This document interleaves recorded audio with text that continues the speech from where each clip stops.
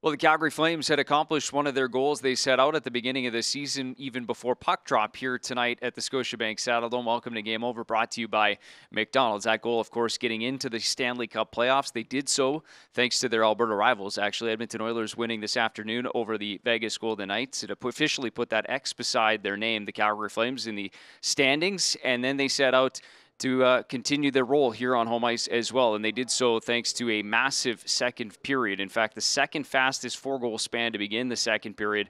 Uh, four goals in two minutes and 33 seconds. Dylan Dubé gets a pair of them. Matthew Tkachuk in there, Andrew Mangiapane as well. It would lead to a six goal middle frame. And obviously, the difference in this hockey game 6 1 after 40 minutes. They'd tack on three more. It was four points all across the board when it comes to the top line. Elias Lindholm Matthew Tkachuk and Johnny Gaudreau. Tkachuk with a pair, Gaudreau with a pair.